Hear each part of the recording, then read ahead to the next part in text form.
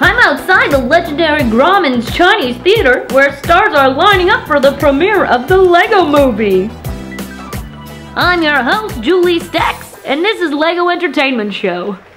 Here's our first star of the night, Emmet Brickowski. Don't trip, Emmett!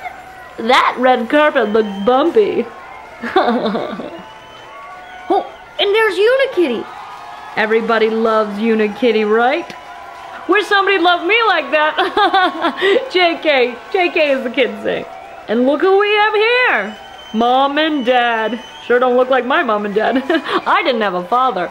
Oh look, Vitruvius is here.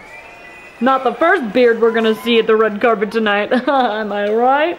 I'm right. Next up we have Lord Business's legs. Let's try that again. Son of a beeswax! This is embarrassing. Oh, look, Batman's here.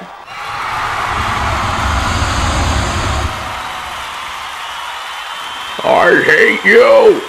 Thanks for coming to the Lego movie premiere. This is the best day of my life. Everyone look out, there's a monster.